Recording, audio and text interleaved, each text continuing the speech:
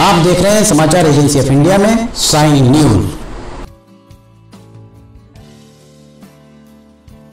25 अगस्त 2024 रविवार को हलषष्ठी व्रत किया जाएगा। हिंदू पंचांग के अनुसार, भाद्रपद मास के कृष्ण पक्ष की पष्टी तिथि को भगवान कृष्ण के बड़े भाई श्री बलराम जी का जन्म हुआ था। उन्हीं के नाम पर इस व्रत को हलषष्ठी पड़ा। इस व्रत को लल्ही छठ, हलछठ हरछठ व रांधन छठ आदि नामों से जाना जाता है। धार्मिक मान्यताओं के अनुसार, यह व्रत संतान प्राप्ति व संतान की लंबी आयु के लिए किया जाता है। इस व्रत में हल की भी पूजा की जाती है। वही कुछ विद्वानों का मत है कि हरछठ या हलछठ व्रत भाद्रपद मास के कृष्ण पक्ष की षष्ठी तिथि को रखा जाता है। कुछ जगहों पर इस व्रत को लल्ही छठ या हल षष्ठी के नाम से भी जानते हैं। इस साल हर छठ व्रत 25 अगस्त 2024 रविवार को है। यह व्रत भगवान श्री कृष्ण के बड़े भाई बलराम जी को समर्पित है। मान्यता है कि इस दिन ही बलराम जी का जन्म हुआ था। मान्यता है कि इस व्रत को करने से बलराम जी का आशीर्वाद प्राप्त होता है। यह व्रत संतान की लंबी आयु व खुशहाली के लिए किया जाता है। कहा जाता है कि भगवान के आशीर्वाद से निसंतान दंपतियों को संतान सुख की प्राप्ति होती है। हलषष्ठी व्रत का महत्व के बारे में कहा गया है कि इस व्रत को विधि विधान से करने से संतान के जीवन में चल रहे सभी दुख दर्द होते हैं और जीवन में सुख समृद्धि आती है। मान्यता है कि इस व्रत के प्रभाव से संतान को लंबी आयु की प्राप्ति होती है। हलषष्ठी व्रत नियमों में बताया गया है कि हर छठ के दिन व्रती महिलाएँ महुआ की दातुन व महुआ खाने का विधान करती हैं।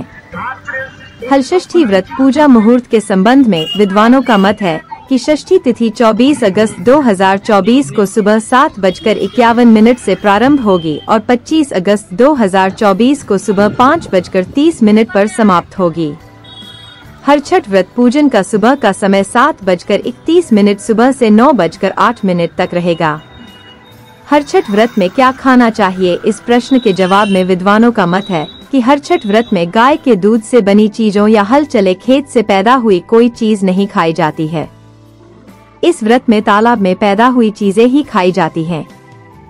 वहीं हलषष्ठी व्रत में क्या नहीं करना चाहिए के संबंध में कहा गया है कि हर छठ व्रत में हल चले भूमि पर नहीं चलना चाहिए। तामसिक भोजन जैसे प्याज व लहसुन आदि का सेवन नहीं करना चाहिए। इस व्रत में गाय के दूध, दही या घी का प्रयोग नहीं करना चाहिए। इस दिन व्रती महिलाएँ हल से जोती गई फ़सल की कोई चीज़ नहीं खाती हैं। न ही ज़मीन में उगाई हुई चीज़ खाई जाती है। बलराम जी का शस्त्र हल माना गया है।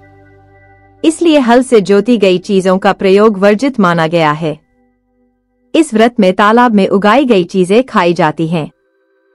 जाने, हलषष्ठी व्रत में व्रती महिलाएँ किन बातों का रखें ध्यान हलषष्ठी व्रत के दिन महिलाएँ भूलकर भी हल से जोती गई धरती पर न चलें। हल चले अन्न, फल या साग सब्ज़ी का सेवन न करें इस दिन तामसिक भोजन जैसे प्याज, लहसुन का प्रयोग भूलकर नहीं करना चाहिए इस व्रत में गाय के दूध, दही व घी के प्रयोग की मनाही होती है इस दिन बड़ों का अनादर नहीं करना चाहिए आइए जानते हैं हलषष्ठी पूजन विधि के बारे में इस दिन महिलाएँ महुआ पेड़ की डाली का दातून, स्नान कर व्रत रखती हैं। इस दिन व्रती महिलाएँ कोई अनाज नहीं खाती हैं। सामने एक चौकी या पाटे पर गौरी गणेश, कलश रखकर हल षष्ठी देवी की मूर्ति या प्रतिमा की पूजा करते हैं इस पूजन की सामग्री में बिना हल जुते हुए ज़मीन से उगा हुआ धान का चावल, महुआ के पत्ते, धान की लाई, भैंस का दूध, दही, वघी आदि रखते हैं। बच्चों के खिलौने जैसे भौरा, बाटी आदि भी रखा जाता है। इस दिन महिलाएँ अपने आंगने में झरबेरी, पलाश और कांसी की टहनी लगाकर पूजा करती हैं। छठ माता का फ़ोटो लगाकर उनको सात अनाजों को मिलाकर बनाया बुआ सतंजा और दही तिन्नी के चावल से भोग लगाया जाता है। इसके बाद व्रत कथा सुनी या पढ़ी जाती है। ज्योतिषाचार्यों के अनुसार महिलाएँ और युवतियाँ पूरे दिन उपवास रखती है। शाम को दोबारा नहाती है और नए कपड़े पहनती है। मंदिर जाती है। वहाँ भजन करती है। चंदन घिसकर टीका लगाती है। कुछ लोग लक्ष्मी जी और और गणेश जी की पूजा करते हैं। कुछ अपने इष्ट की भगवान को कुमकुम और चंदन से तिलक करके अक्षत अर्पित करते हैं। सिक्का, फूल, फल, सुपारी चढ़ाते हैं। दीपक, अगरबत्ती जलाते हैं। फिर हाथ में चंदन लेते हैं। कुछ लोग चंदन मुँह में रखते हैं।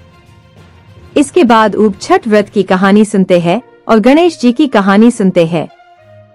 इसके बाद पानी भी नहीं पीते जब तक चाँद न दिख जाए।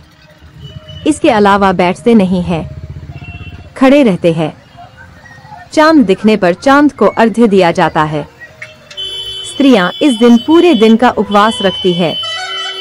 शाम को दोबारा स्नान कर स्वच्छ और नए कपड़े पहनती है। कुछ लोग लक्ष्मी जी और और गणेश जी की पूजा करते हैं और कुछ अपने इष्ट की। चंदन घिसकर भगवान को चंदन से तिलक करके अक्षत अर्पित करते हैं।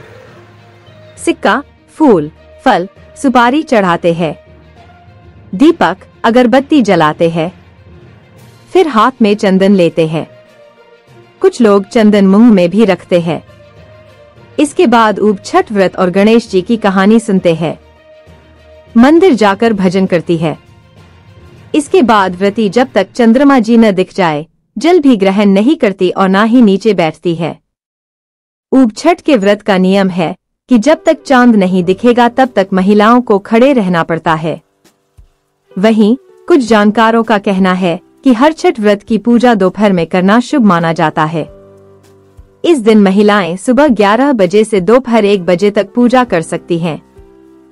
इस पूजा के लिए पूजन सामग्री में कुमकुम, चावल, चंदन, सुपारी, पान, कपूर, फल, सिक्का, सफ़ेद फूल, अगरबत्ती, दीप के भैंस का दूध, घी, दही और गोबर, महुए का फल, फूल और पत्ते, जवार की धाने एपन मिट्टी के छोटे कुल्हर देवली छेवली, तालाब में उगा हुआ चावल, भुना हुआ चना, घी में भुना हुआ महुआ, लाल चंदन, मिट्टी का दीपक, सात प्रकार के अनाज, धान का लाजा, हल्दी, नया वस्त्र, जनेऊ और कुश मुख्य रूप से शामिल हैं। ऊब छठ व्रत कथा इस प्रकार है। किसी गाँव में एक साहूकार और इसकी पत्नी रहते थे। साहूकार की पत्नी रजस्वला होने पर भी सभी प्रकार के काम कर लेती थी। रसोई में जाना, पानी भरना, खाना बनाना, सब जगह हाथ लगा देती थी। उनके एक पुत्र था। पुत्र की शादी के बाद साहूकार और उसकी पत्नी की मृत्यु हो गई। अगले जन्म में साहूकार एक बैल के रूप में और उसकी पत्नी कुतिया बनी। ये दोनों अपने पुत्र के यहाँ ही थे। बैल से खेतों में हल जुदाया जाता था और कुतिया घर की रखवाली करती थी। श्राद्ध के दिन पुत्र ने बहुत से पकवान बनवाए। खीर भी बन रही थी। अचानक कहीं से एक चील जिसके मुँह में एक मरा हुआ सांप था, उड़ती हुई वहाँ आई। वो सांप चील के मुँह से छूटकर खीर में गिर गया। कुतिया ने यह देख लिया। उसने सोचा इस खीर को खाने से कई लोग मर सकते हैं। उसने खीर में मुँह अड़ा दिया ताकि उस खीर को लोग ना खाए। पुत्र की पत्नी ने कुतिया को खीर में मुँह अड़ाते हुए देखा तो गुस्से में एक मोटे डंडे से उसकी पीठ पर मारा। तेज चोट की वजह से कुतिया की पीठ की हड्डी टूट गई। उसे बहुत दर्द हो रहा था। रात को वह बैल से बात कर रही थी। उसने कहा, तुम्हारे लिए श्राद्ध हुआ, तुमने पेट भर भोजन किया होगा। मुझे तो खाना भी नहीं मिला, मार पड़ी सो अलग। बैल ने कहा, द्री, मुझे भी भोजन नहीं मिला। दिन भर खेत पर ही काम करता रहा। ये सब बातें बहू ने सुन ली और उसने अपने पति को बताया। उसने एक पंडित को बुलाकर इस घटना का ज़िक्र किया। पंडित में अपनी ज्योतिष विद्या से पता करके बताया कि कुतिया उसकी माँ और बैल उसके पिता है। उनको ऐसी योनि मिलने का कारण माँ द्वारा रजस्वला होने पर भी सब जगह हाथ लगाना, खाना बनाना, पानी भरना था। उसे बड़ा दुख हुआ और माता पिता के उद्धार का उपाय पूछा। पंडित ने बताया, यदि उसकी कुंवारी कन्या भाद्रपद कृष्ण पक्ष की षष्ठी यानी उपछठ का व्रत करे, शाम को नहाकर पूजा करे, उसके बाद बैठे नहीं। चाँद निकलने पर अर्घ्य दे। अर्घ्य देने पर जो पानी गिरे, वह बैल और कुतिया को छुए तो उनका मोक्ष हो जाएगा। जैसा पंडित ने बताया था, कन्या ने ऊब छठ का व्रत किया, पूजा की। चाँद निकलने पर चाँद को अर्घ्य दिया। अर्घ्य का पानी ज़मीन पर गिरकर बहते हुए बैल और कुतिया पर गिरे ऐसी व्यवस्था की। पानी उन पर गिरने से दोनों को मोक्ष प्राप्त हुआ और उन्हें इस योनि से छुटकारा मिल गया। हे ऊब छठ माता, जैसे इनका किया वैसे सभी का उद्धार करना। कहानी लिखने वाले और पढ़ने वाले का भला करना। इस माह में अगर आप भगवान बलराम जी का स्मरण करते हैं तो आप कमेंट बॉक्स में जय बलदाऊ लिखना न भूलिए यहाँ बताए गए उपाय, लाभ, सलाह और कथन आदि सिर्फ़ मान्यता और जानकारियों पर आधारित हैं। यहाँ यह बताना ज़रूरी है कि किसी भी मान्यता या जानकारी की समाचार एजेंसी ऑफ़ इंडिया के द्वारा पुष्टि नहीं की जाती है यहाँ दी गई जानकारी में निहित जानकारी विभिन्न माध्यमों, ज्योतिषियों, पंचांग, प्रवचनों, मान्यताओं धर्म ग्रंथों दंतकथाओं किंवदंतियों आदि से संग्रहित की गई हैं। आपसे अनुरोध है कि लेख को अंतिम सत्य अथवा दावा न माने एवं अपने विवेक का उपयोग करें। समाचार एजेंसी ऑफ़ इंडिया पूरी तरह से अंधविश्वास के खिलाफ है। किसी भी जानकारी या मान्यता को अमल में लाने से पहले संबंधित विशेषज्ञ से सलाह लें।